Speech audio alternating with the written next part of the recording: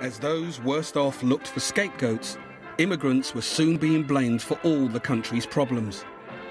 Inflammatory programs on TV fueled an overtly racist climate. Well, of course, there are far too many immigrants in this country. We do not have sufficient houses, jobs and schools for our own people, let alone immigrants. And unless something's done about this quick, that prejudice is going to be sheer bloody hatred. Growing up black and British in the 70s was tough. When we were walking around the streets, there's graffiti everywhere. KBW, Keep Britain White, niggers go home, National Front stuff all over the place. So you definitely felt alienated.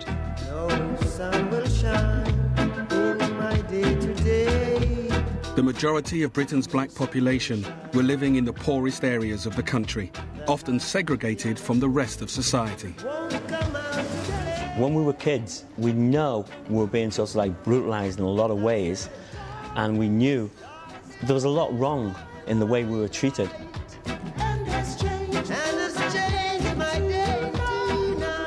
As well as the things that affected my white mates, like unemployment, etc., etc., we had the double grief of the cops on our backs with the whole sus laws and things like that. The power to stop and search suspects originally came from an old anti vagrancy law, but was now being used overzealously by police to take young black men off the streets. I can't count the number of times we'd be turfed down to the van, and I'm talking about turfed, told to go and sit in a police car at the back. And this can be pretty scary because it's late at night, there's nobody round, no witnesses, right? And you're thinking, what the hell is going on? The police were virtually at war with young black kids. You know, the chief of the Metropolitan Police said any encounter between black kids and the police was a potential riot. That view was still prevalent in 76 that there was going to be civil war, that black and white couldn't live together. One area in West London where black and white were trying to get along was Notting Hill. There, the West Indian community had held an annual carnival since 1964. Originally a small local event, it had rapidly grown in recent years and by 1975 attracted 150,000 revelers. To all intents and purposes, it was a pretty harmonious place. People learned to get along. I mean, we all had to live next door to each other. We all had to work with each other. Black and working class and white working class people. It was a fantastic atmosphere. Although the 1975 carnival passed off fairly peacefully, this summer the atmosphere was different. With racial tension in the air, some local residents were nervous about the West Indian community being allowed to take over the streets. Carnival brings more enjoyment and um, social sure this is true. and social values. If we were to do this, you could, in a sense, say that we ought to donate some money to a conservative fete or a, or a church outing or something, and we don't do that. They are all. It was clear that they wanted the carnival off the streets. The police, the Home Office, the newspapers. There is a reservoir of racist feeling in the British population. Mm. There is not one single one who does not know that. So I used to sleep, eat, and drink the stuff. Pen to paper. And I was known as a public figure by then. And people stopped me in the street. Darcus, are we having a carnival? Attempts to stop the carnival added to the sense of persecution felt by London's Caribbean community. Among the younger generation, anger about their situation was fueling a more militant stance. We were bubbling and backfiring, and rising and raging. There were songs of freedom. Marley's hymns of freedom were all over the place. We were saying we're not putting up with it anymore. There was clearly a change in consciousness occurring among young black British kids. Because I think they were the first lot that knew they were black and British. They hadn't been born on an island somewhere in the Caribbean or whatever. They'd been born in Notting Hill or Brixton or Toxteth or wherever it was. And whereas their parents had put up with all the crap, they weren't going to. Morning, ladies and gentlemen. Sit down, please, will you? The authorities eventually decided to let the carnival go ahead, but they were determined to exercise control. You will see from here the local police chief decided to employ a force 20 times greater than the previous year and was preparing for the event with military precision. and probably not exceed. They wanted to move it to a park. Then you can police them by surrounding the park. And we said, no, we're not going in the park. This is not a game.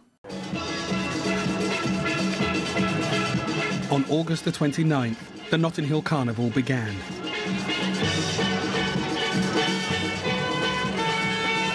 The local police chief decided to place more than 1,400 officers on the streets for the two-day event.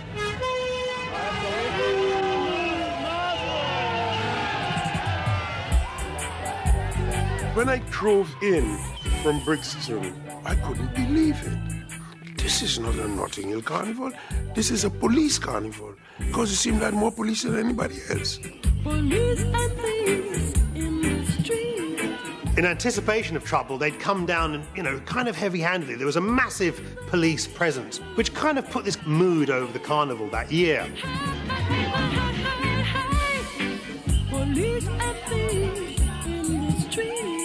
1976 was the first year I remember kind of thinking that this is kind of getting bigger and we should go and investigate.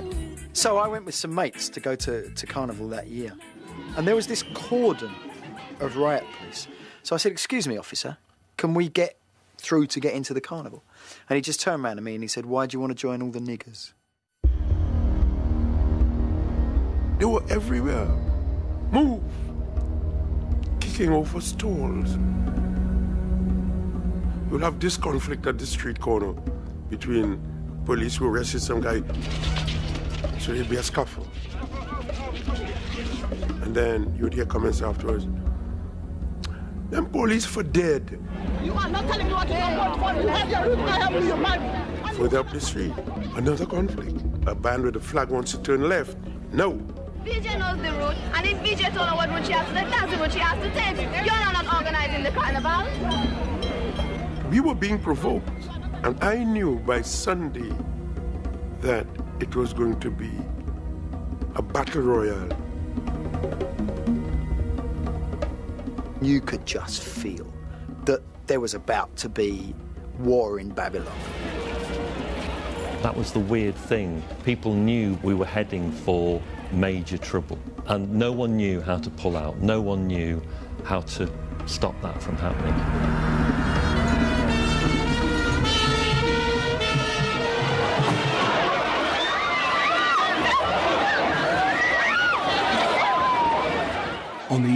The second day, the smouldering resentment turned into violence.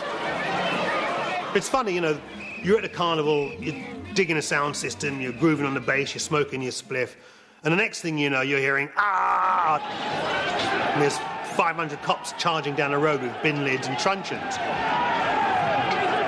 I was at a Mangrove restaurant, and my children were there, and the police stormed the restaurant. And we locked the door, barricaded walls, and they broke all the glass, shouting, Come out here. Come outside, you black cunts. Come out. Come out. And my children were screaming. It started off, I understand, with some young kind of black guys going around doing a bit of, you know, thievery, but a very small group of them. And then there was a massive overreaction by the police, stormed in, start hitting anyone with batons who gets in the way, and those kids decided they weren't going to put up with it this time, and they fought back. I was with a group of friends coming down Ladbroke Grove itself.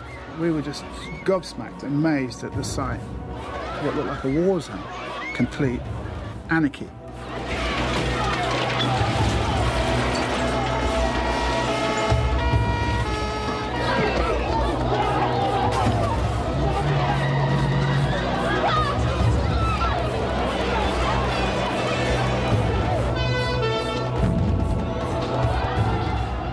I was underneath the bridge at Acklam Road. I'm not going to apologize, but it was really exciting to then see the police running away down Portobello Road and for protection having to pick up dustbin lids. We'd pick up a brick and a bottle and like, yeah, have some of this, you bastards, you know what I mean? So we were giving probably more than we got. Young as I was, I knew why this was happening um, it was payback time. The streets of Notting Hill were sealed off, and rioting lasted for 48 hours. Hundreds were wounded, mostly police officers.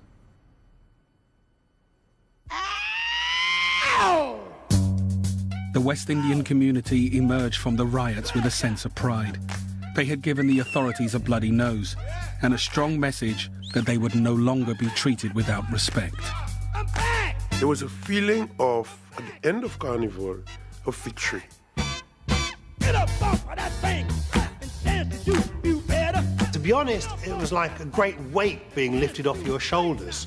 You know, and, I, and I'm sorry for the people that got hurt and the, you know got caught up in the crossfire. But for us, it was extremely liberating. It's undeniable.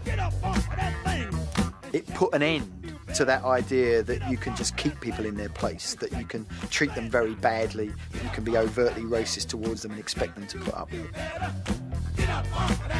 We had become not only black, but part of the soil. Because when you fight for a place, there's something sacred about it.